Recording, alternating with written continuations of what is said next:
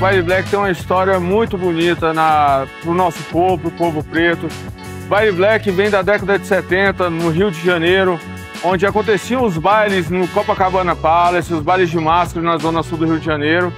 E o pessoal do subúrbio não eram, não eram convidados para esse baile, até mesmo a música que tocava nesses bailes não era a música que o pessoal é, gostava, era convidado. Então, o pessoal se juntava na periferia, no subúrbio do Rio de Janeiro, e faziam as festas chamadas de baile black, onde tocava música black, a música de preto. Um ato de representação para o nosso povo negro, que veio com tudo nessa nova gestão. A primeira vez que estamos tendo a oportunidade de ter um baile desse podendo contar com todo o apoio da OAB.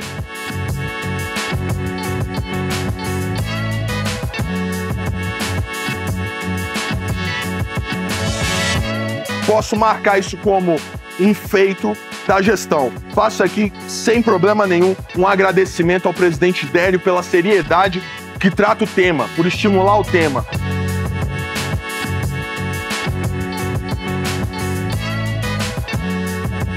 Eu quero agradecer a todos que vieram para essa festa. Os protagonistas de toda essa festa são justamente os colegas advogados e advogadas negros que vieram para cá.